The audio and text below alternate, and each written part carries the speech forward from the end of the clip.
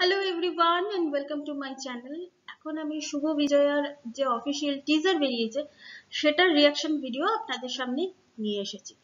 তো রোহন সেনের পরিচালনায় শুভ বিজয়া, আমরা শুভ বিজয়া মানে প্রথমেই আমাদের মাথায় যেটা আসে, সেটা হচ্ছে মা দুর্গা। তো এখানে মুখ্য চরিত্রে যারা যারা অভিনয় করছেন, কৌশিক গাঙ্গুলি, চুনি গাঙ্গুলি, বনি, কৌশানী, খরাজ স্যার প্রমুখেরা এখানে অভিনয় করেছেন। আর এখানে টিজারটা এক মিনিট পনেরো থেকে আঠেরো সেকেন্ডের টিজার আমার টিজারটা ভালো লেগেছে। ভালো লেগেছে এই কারণে যে গল্পটা কিন্তু মানে ঠিকঠাক মানে আমরা যে টিজার দেখে অনেক কিছু বুঝে যাই অনেক সময় টিজার ট্রেলার দেখে, সেই জিনিসটা কিন্তু হয়নি।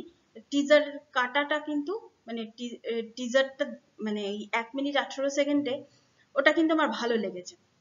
হ্যাঁ সবচেয়ে বড় কথা টিজারে আমরা একটা জিনিস বুঝতে পারছি যে এমন কিছু ঘটনা ঘটেছে এই পরিবারে। প্রথমে দেখে মনে হচ্ছিল যে মা দুর্গা চলে যাচ্ছে, অনেকেই আছেন যে বিজয়া দশমীর দিন কাঁদেন।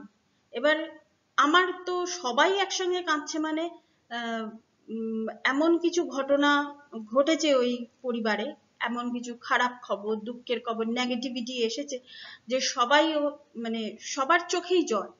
বা কেউ গম্ভীর হয়ে আছে, যেমন কৌশিক গাঙ্গুলিকে দেখা যাচ্ছে যে একটা ঘরের মধ্যে অন্ধকার ঘরে তিনি চুপ করে আছেন। তারপর মাকে বরণ করার সময় চুনি গাঙ্গুলি, সেটা স্বাভাবিক ব্যাপার, বরণ করার সময় অনেকেই আমি বললাম আগে কেঁদে ফেলে। কিন্তু তবুও কান্নাটা দেখে মনে হচ্ছিল, মা চলে যাচ্ছে, সেটার তো কান্না আছেই। তার সঙ্গে সঙ্গে যে দুঃখের কিছু ঘটনা যদি ঘটে থাকে তারও একটা কান্না থাকতে পারে। বনির মুখটা গম্ভীর। তো যাই হোক, তারপর খরাজ স্যারকেও একটা সিনে দেখলাম যে উনি কাঁদছেন। তো এইভাবে মানে সিনটা আর কি এগোতে থাকছে মানে টিজারটা এগোতে থাকছে।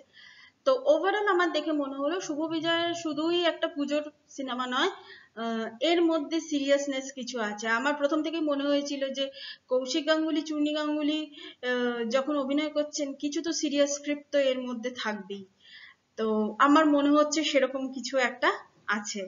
আশা করব সিনেমাটা ভালো হবে, ট্রেলারের জন্য অপেক্ষায় রইলাম।